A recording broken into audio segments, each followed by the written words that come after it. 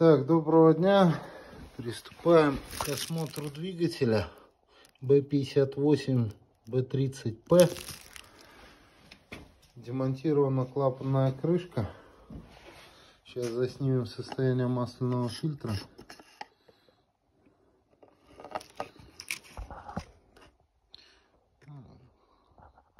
Следов чего-то блестящего тут нету. Достань фильтр.